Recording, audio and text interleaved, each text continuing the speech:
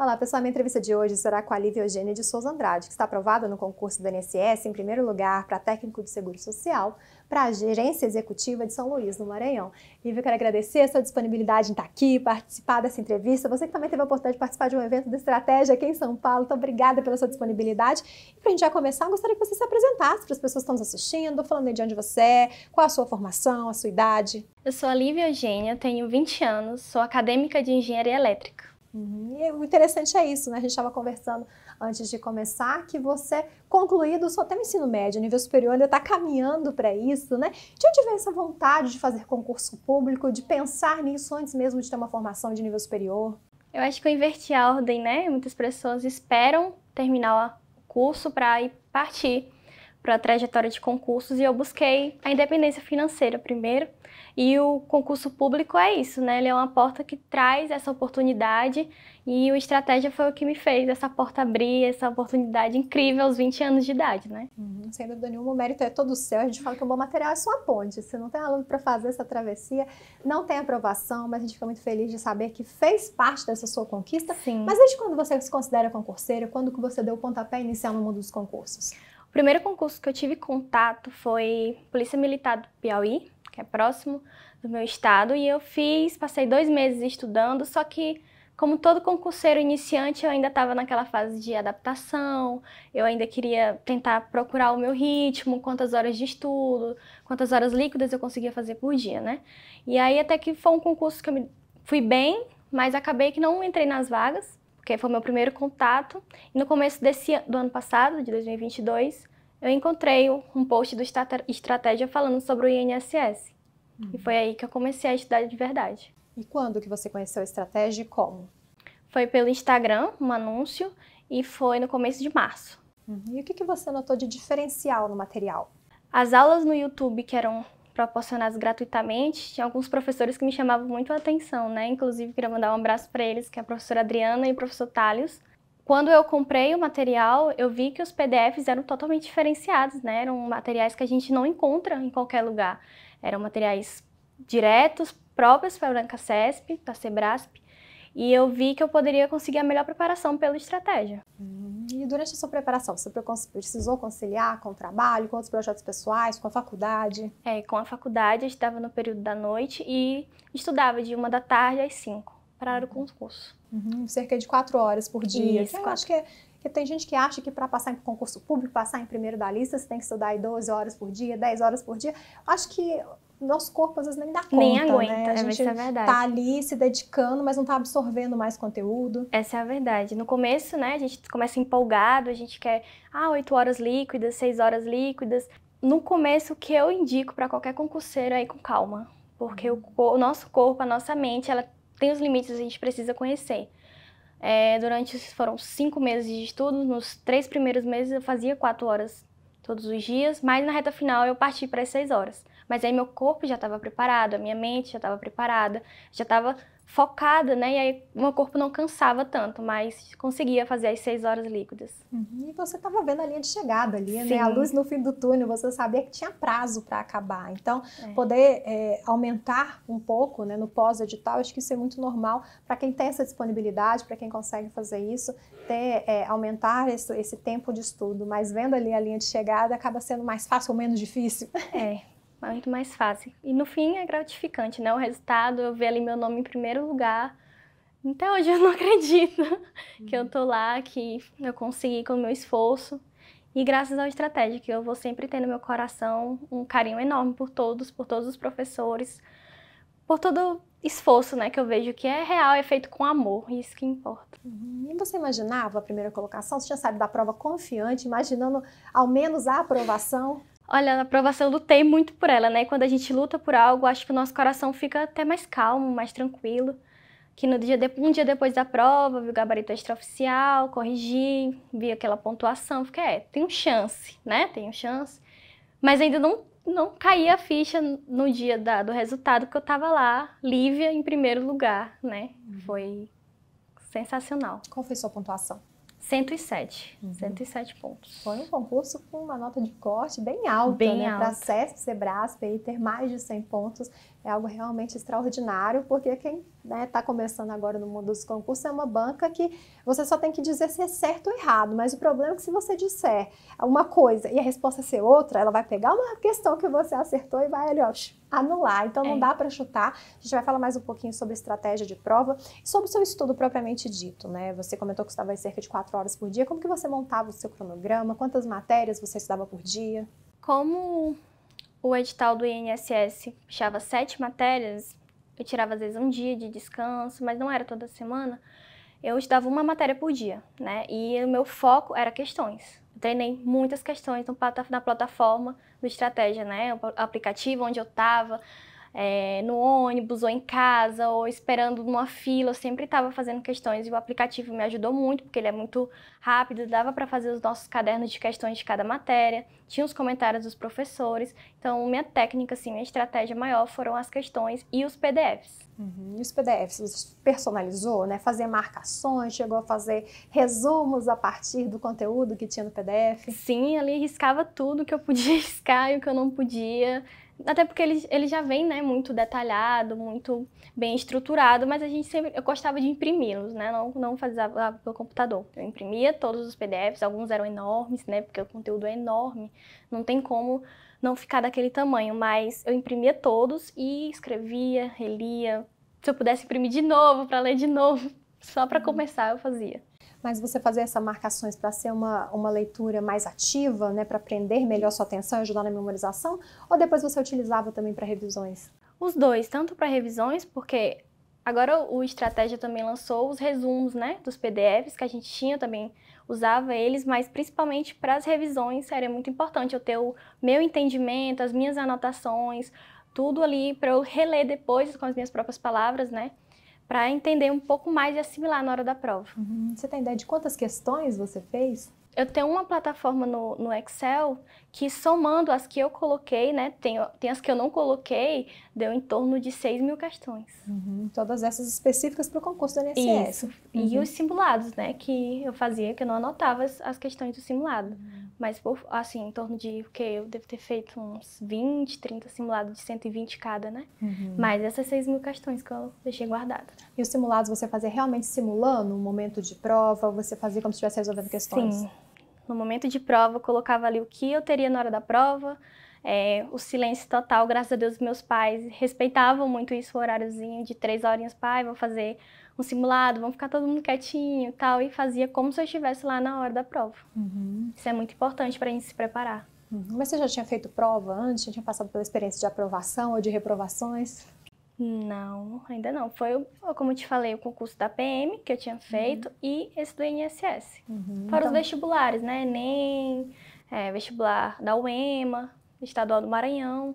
Esse sim eu já tinha treinado antes, mas para concurso, o treino mesmo, o foco sério foi o INSS. Uhum. Então, fazer simulados também, de certa forma, te trouxe um pouco de experiência do que seria para o momento de prova, sim, né? Sim, e os simulados de estratégia tinha aquele lema, né? O, o treino difícil para o jogo ser fácil, né? Tanto que minhas pontuações no estratégia eram assim, 80, 90, porque eles eram puxados, eles queriam te levar para o que o CESP poderia te trazer o pior da situação, né? Que a gente nunca imagina o que, que o CESP vai cobrar lá na hora. E aí, nos simulados do estratégia, eu senti essa, esse peso que eles colocavam para dizer assim: olha, você tem que fazer desse jeito, você tem que estudar esse conteúdo, porque na sua prova você não pode errar. Uhum. E né? você, no simulado, se aproveitou para testar também se valeria a pena resolver tudo, se ia deixar questões em branco? Eu não tinha coragem de responder tudo. Não tinha, porque, como você falou, o CESP ele te tira uma questão se você erra. Então, aquela que eu não sabia de jeito nenhum que eu não conseguia pescar ali na minha mente o conteúdo eu, eu deixei. Tanto que na prova e nos simulados, se a média era 5, 6. Na prova eu deixei cinco questões em branco. E na semana que antecedeu a prova, como que você levou? Você é daquelas que gosta de aumentar o ritmo de estudo, estudar o máximo possível, até ali no momento da prova, tá com um papelzinho na mão, ou que não, que você acha que véspera de prova, semana que antecede, é uma semana para acalmar um pouco mais, ter um pouco mais de vida social? Pisei no freio na última semana, parece que meu corpo já não estava mais assimilando. A única coisa que eu ainda assisti era as revisões do YouTube, que Era a professora Adriana, o professor Thales, que estavam ali todo o tempo, os outros professores participavam muito no YouTube ativamente, e eu ficava assistindo ali deitada, anotando meu caderno de erros, escrevendo tudo que eu tinha que lembrar, tanto que na prova de direito administrativo, toda professor acertou, né? Todo foi da revisão dele, eu lembrei, eu estava ali na prova escutando ele falando comigo, né? E aí eu resolvi pisar no freio e ficar só assistindo as aulas ali deitada, não ficava mais me pressionando, não estava fazendo mais questões, porque eu sentia que minha mente precisava descansar para a hora da prova. Uhum. E véspera de prova também, foi um dia de descanso? Foi, eu estava com a minha família, com minha mãe, com meu pai, com meu companheiro e todo mundo estava me ajudando, tentando. Sabem que eu sou muito ansiosa, né? Mas eu tive muito apoio familiar que eu consegui me sentir leve. Uhum. E aproveitando que você comentou da família, né? Eu sempre utilizo na, na, minha pergunta duas palavras, que é apoiar e entender. Porque muitas vezes a família apoia, mas não entende, né? O fato de você ser jovem, estar tá ali estudando, não tem poder estar tá saindo, estar tá com, com as amigas, tamanho de de, da dedicação, tempo, os nãos também. É. Então, a sua família, além de apoiar, entendeu também essa sua decisão, porque muitos decidem estudar para concurso e acaba, como dizem o ditado popular, levando a faculdade com a barriga naquele período que está estudando. Eu levei. Só que a faculdade, teoricamente, é algo certo, que se você der, fizer o seu, o seu, máximo ali, no final vem o diploma. Já o é. concurso depende de N fatores, né? Então, sua família, além de entender, apoiou essa sua decisão? Eu sou filha de professora, ela é amante da educação, né? Minha mãe sempre foi uma mulher que investiu nos meus estudos.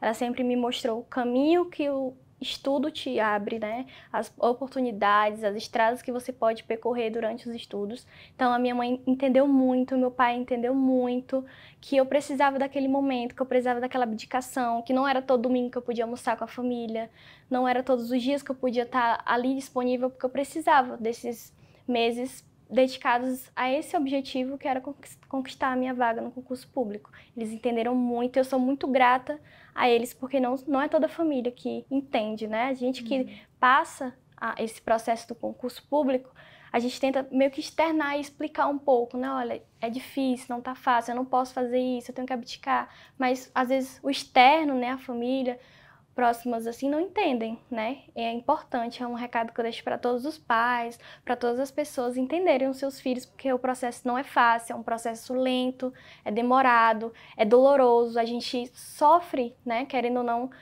na pele o que é o, o medo do não, o medo da reprovação e às vezes a gente precisa do apoio dos nossos pais, da nossa família. Uhum. E eu fico imaginando, né?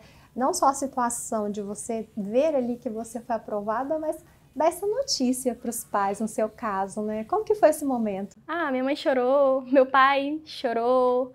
O meu Natal foi, né, com a minha família toda feliz, toda festejando, porque eu acho que com a minha idade, né, eles ainda esperariam, sim, claro, um futuro brilhante, mas veio muito cedo, né? Como minha mãe disse, minha filha, você com 20 anos agora vai sair das minhas asas, né? Vai conquistar a sua independência, o meu pai também. Mas é muito bom ver nossos pais orgulhosos, falar tão bem da gente, né? Ligar, olha, minha filha passou em primeiro lugar, sabe? É, é muito gratificante a gente sentir que conseguiu retribuir pelo menos 5% do que eles fazem uma vida toda por nós. Uhum. A sua preparação focada, né, foram aí poucos meses, você só com 20 anos, mas com um pensamento muito maduro em relação ao seu futuro. Então, eu acredito que você, é, para ter essa aprovação certeira, né, você buscou alternativas para, de fato, já começar da maneira certa ou errar o menos possível. Mas o que, que você considera que foram os seus principais acertos e você considera que você teve erros também durante a sua, sua preparação? Assim, os erros eu considero que foram essenciais para eu encontrar o caminho certo, né? Mas os meus principais acertos, acho que foi investir nas questões, né? É uma tecla que eu bato muito porque eu vejo muita gente fala, Lívia, eu tô há tanto tempo, mas eu falo, você está treinando? Você está fazendo questões, porque lá na hora da prova você vai responder questões, você vai precisar se adaptar à sua banca, você vai precisar se adaptar ao tempo que você vai ter, a estratégia que você vai usar, quais respostas você vai deixar em branco. E aí eu acho que nessa parte eu consegui lidar um pouco mais rápido, consegui enxergar um pouco mais rápido para ter o menos, menor número de erros possíveis. Uhum. E os acertos? Ah, eu acho que os acertos eu não consigo enxergar porque foram tantos assim que a gente, por exemplo, o método que eu consegui organizar os meus estudos, né? É, utilizar aquela hora de, de foco, aqueles minutos de descanso, é, tentar ao máximo não dispersar, não deixar a ansiedade me abalar. Acho que tudo isso eu consegui ser, ser assertiva. Uhum. Eu imagino que talvez pensar em desistir você não tem, porque foi uma preparação aí é, bem rápida, né? No, no sentido do, de quando você realmente decidiu até o momento da prova.